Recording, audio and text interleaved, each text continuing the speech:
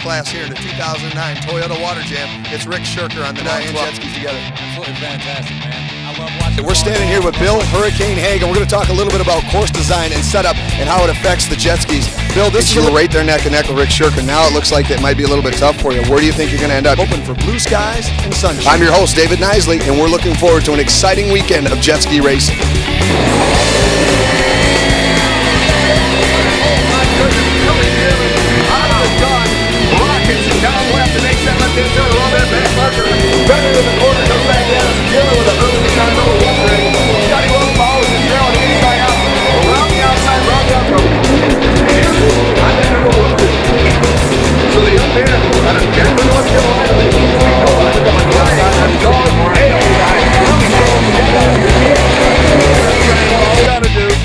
You know, doing everything you gotta do to win the title.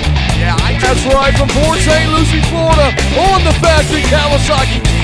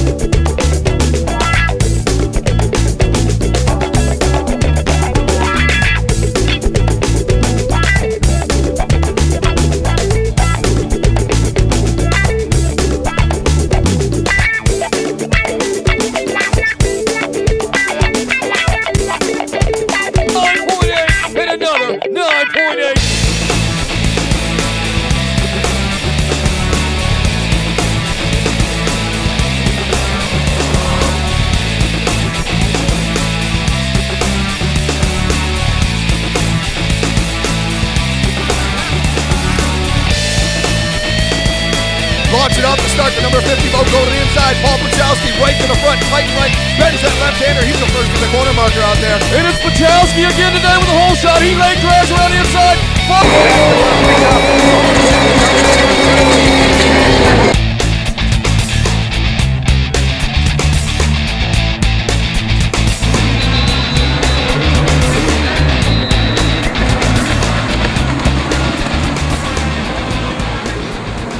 Check your local listings or uwpinc.com for times and dates.